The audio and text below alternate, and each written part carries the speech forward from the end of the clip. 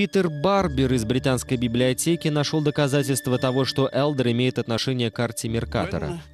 Когда Меркатор опубликовал карту, он очень неохотно говорил о том, кто дал ему черновик. Я изучал названия местности на картах, Некоторые топонимы выглядят как неправильный перевод с английского на фламандский, но есть и другие. Однажды вечером, рассуждая над этой проблемой, я перестал смотреть на значение слова и стал смотреть на сами буквы. Я понял, что это секретарский почерк, каким писали только в Англии, и Меркатор не мог его прочесть. Чтобы удостовериться в этом, я взглянул на образец почерка Элдера. К моему удовольствию, буквы были такими же. Я понял, что букву W в почерке Элдера Меркатор мог принять за букву «Б». В результате название Кроули превратилось в Крепси.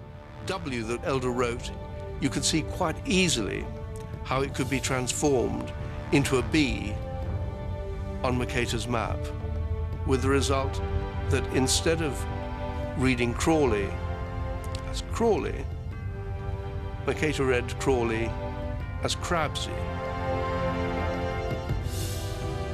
Питер Барбер нашел и другие детали, указывающие на то, что именно Элдер снабжал Меркатора информацией.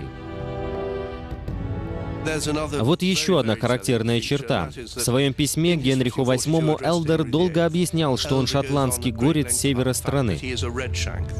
На карте Меркатора горцы упоминаются два раза. А кто еще, кроме Джона Элдера, мог придавать им такое значение?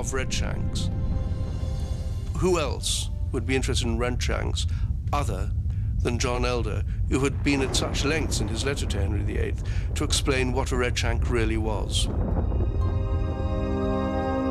Итак, доказательства можно найти на картах. Видимо, именно Джон Элдер открыл французам секреты Англии. Французы и шотландцы решили завладеть Англией с помощью шотландского шпиона и Герхарда Меркатора – Но почему их план в последний момент провалился? Муж Марии, королевы шотландской, король Франции, умер в возрасте 16 лет. В 1567 году, когда ее дяди, кардинал де Лорен и герцог де Гиз впали в немилость, Мария была вынуждена покинуть Францию. Во Франции разразилась война между католиками и протестантами. Вторжение в Англию стало невозможным. Елизавета заключила перемирие с Францией. Джон Элдер, как и Мария, королева шотландская, вернулся в Шотландию. Там Джон пытался шантажировать англичан, требуя у них ежегодную плату и угрожая, что иначе он будет помогать Марии Стюарт.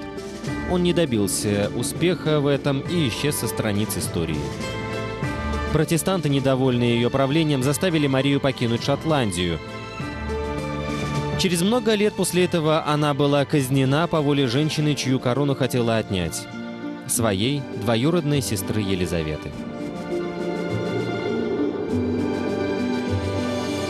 Елизавета I оставалась на престоле еще 45 лет и стала самой могущественной из всех королев Англии, покорившей далекие страны и победившей врагов.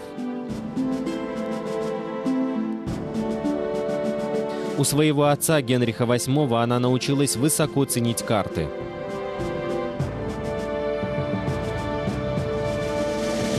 Жизнь и репутация Меркатора остались незапятнанными. Он стал самым известным географом современной истории –